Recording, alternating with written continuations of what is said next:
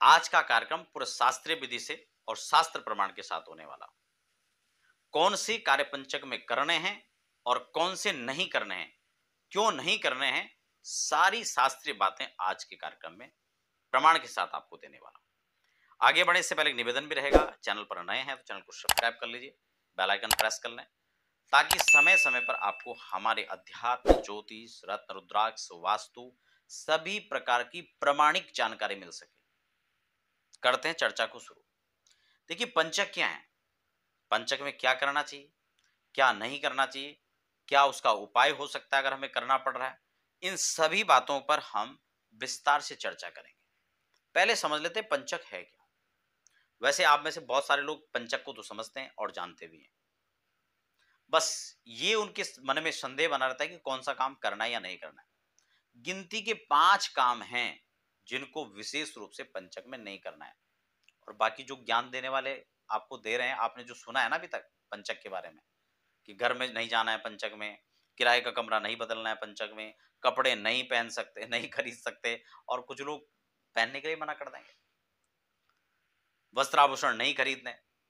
और जब गृह प्रवेश के नक्षत्रों की बात बता रहे हो तो वही नोट कर लिया, जो नेट पर है, कहीं गूगल पर है, और मैं बहुत हास्यास्पद, यह भी मेरे को लगता है कि आप गूगल पर भी जब सर्च करेंगे तो उसमें भी कई सारी चीज़ों के लिए, गाड़ी के मोड़ तुम्हें बता रहा होगा कि पंचक हो भद्रा हो तो गाड़ी ना खरीदे।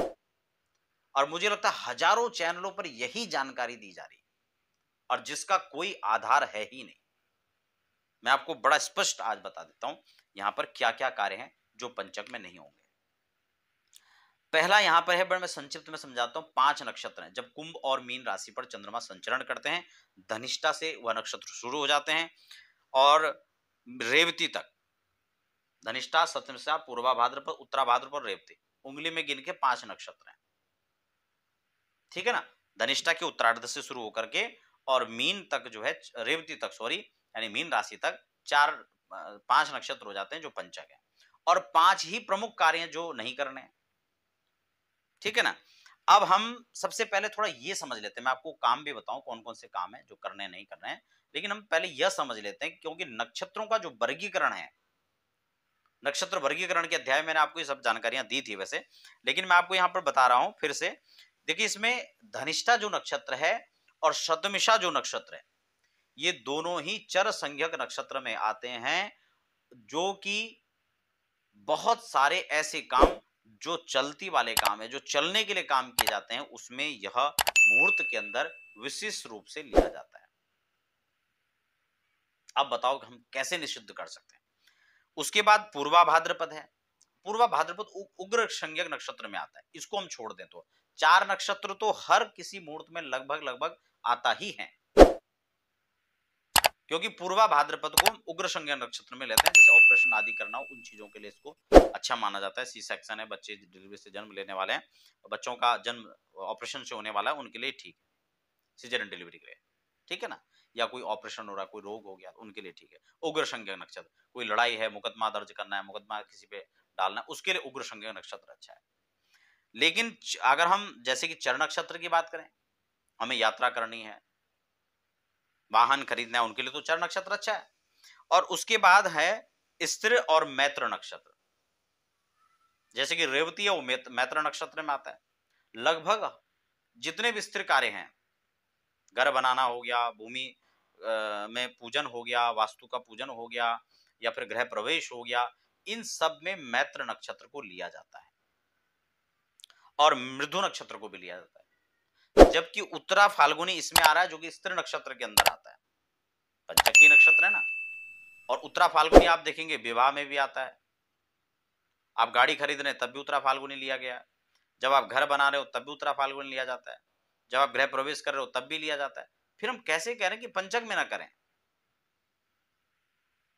और अगर हम इन नक्षत्रों को वहाँ पर मेंशन कर रहे हैं, फिर पंचक को कैसे? मना कर रहे हैं हम लोग। तो इसलिए ये प्रमाण नहीं है। ये मिथक बातें, सुनी सुनी बातें हैं। हमने देख लिया, कोई वाहन खरीदने की वीडियो में बता रहा है कि हाँ जी, पंचक और बड़े बड़े चैनलों की बात कर रहा हूँ मैं, जिन पर अच्छे खासे सब्सक्राइबर हैं, अच्छे खासे व्यूवर जिनमें जुड़े हुए हैं, लेकिन वो सारे लोग भ्रमित हो रहे हैं। इसीलिए यूट्यूब पर जिनकी भी आप जानकारी देते हैं, देखते हैं, उनको कम से कम आपको ये ध्यान में रहे कि हमें प्रमाणिक जानकारी कहाँ पर मिलती है। सिर्फ़ उन्हीं के चैनल को देखें, बाकी इनके मिथक चैनलों को देखना भी मेरे हिसाब से अच्छा नहीं है आपके क्योंकि आप उसमें सिर्फ़ भ्रम में पड़ेंगे। जो आपको बता रहे हैं कि उत्तरा फाल्गुनी के अंदर गृह प्रवेश करना है गाड़ी खरीदनी है वस्त्राभूषण खरीद सकते हैं विवाह कर सकते हैं सगाई कर सकते हैं वही कह रहे हैं कि पंचक में नहीं कर सकते। तो, तो दोनों बात एक साथ में कैसे हो सकती है? इसलिए शास्त्रीय परंपरा शास्त्र प्रमाण यहाँ पर स्पष्ट शास्त्र कह रहा है आप इसमें कर सकते हैं। अब आते हैं पॉइंट पर थोड़ा विलंब हो गया उसके लिए क्षमा। देखिए पहले मूल बात को समझना ज़रूरी है। पाँच बातें हैं बड़ा छोटा सा सिद्धांत है ठीक है ना? क्या पाँच काम नहीं करना है? एक तो दाह संस्कार जब होता है, किसी की मृत्यु हो जाती है और दाह संस्कार की बात आती है, तब पंचक प्रारंभ हो जाते तो दाह संस्कार नहीं करते हैं। और दाह संस्कार करना होता है तो उसका फिर पंचक शांति करवाई जाती है। ठीक है ना? वो पुतले बनाकर, वो अलग विधान है स्वयं चर्चा भी नहीं करेंगे। फिर दूसरा है, चारपाई आदि का निर्माण।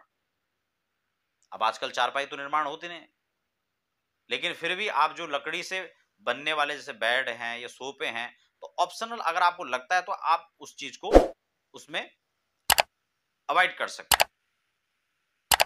आप सोफा ना खरीद कर लाएँ या बेड ना बनवाएँ खासकर यहाँ पर वैसे निर्माण करने की बात है तो आप इन चीज़ों को छोड़ सकते हैं।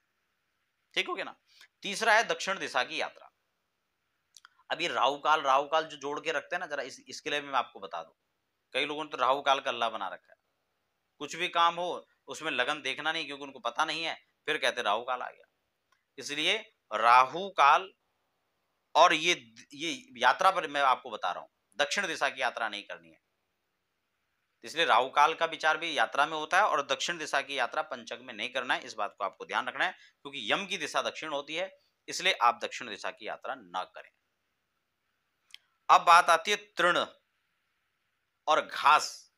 मान लो यज्ञशाला बनाना है आपको तो उसके लिए हमें तृण एकत्र एकत्र करना हो तो पंचक में नहीं करना चाहिए। घास एकत्र करना हो तो नहीं करना चाहिए।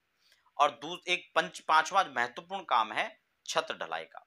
घर बना रहे हैं तो छत की ढलाई, जो छत डालते हैं, लेंटर डालते हैं, उसको पंचक में नहीं डालना चाहिए। ये पाँच काम हैं जो हमें पंचक में नहीं करने चाहिए। बाकी कपड़े खरीदना, वस्त्राभूषण खरीदना, सारे काम आप गाड़ी खरीदना, सब पंचक में कर सकते हैं। यह मैं नहीं, शास्त्र का प्रमाण है। इसलिए बेझिझक कीजिए और जो आपको ऐसे चैनलों पे ऐसा ज्ञान मिलता है, उसको ना देखें और ना सुने, क्योंकि उससे आप सिर्फ़ भ्रम में पड़ेंगे। और मैं उनके लिए भी फिर कह रहा हूँ, जो राहु काल के पीछे पड़े मैं राहु काल से ज्योतिष नहीं चलती है।